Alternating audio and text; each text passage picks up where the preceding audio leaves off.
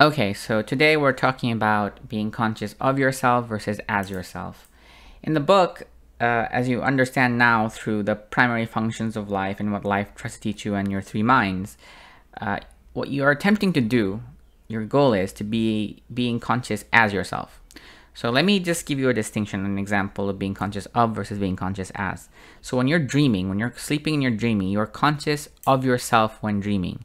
But when you are lucid dreaming, you're conscious as yourself within the dream and the dream itself to an extent. So that is the difference between conscious of versus conscious as. I'm still reading this concept in the book in terms of I'm still integrating it into my mind. Um, so if you want more nuance than what I've just presented, you should probably go read the book. like I said, the book itself is free. You can download it and, and you can control F and find the concepts that you need to go over. So it's interesting from the standpoint of, of experiences that I've had that the really the functional goal of your life, the thing that you're really working towards is lucidity is to become lucidly aware of your life as yourself. And lucidity not only of, of life but again as yourself. There are actually two other aspects of yourself.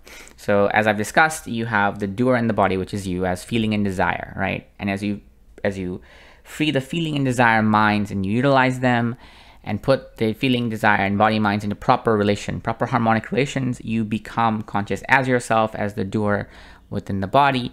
And as you do that, you will also be aware to an extent that you have two other aspects of you, which are known as the knower and the thinker. So there's that, there's a trinity of you. There's the doer, the knower, and the thinker. And as you do this, the main and primary goal is to become conscious as a trinity, right? Father, Son, and the Holy Spirit, and all that good stuff.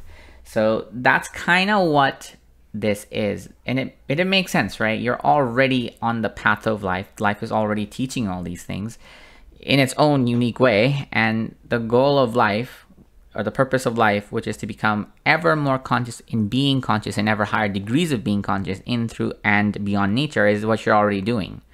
You know, you just don't have sort of a, you, you just don't have this framework yet, which hopefully by, by going through my mini lectures here on these slides, you understand more a lot of yogis will probably understand better. Um, one of the things that I have, uh, there's this book called Mind Illuminated by uh, Dr. John Yates, neuroscientist turned meditator. Uh, in it, you know, in one of the stages, you get to feel the energy currents of your body. So you become very aware of the energetics that you have.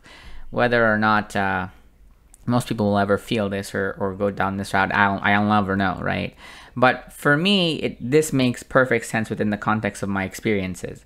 It may be crazy and woo-woo to the rest of you, and honestly, I wouldn't I wouldn't blame you if you saw it that way.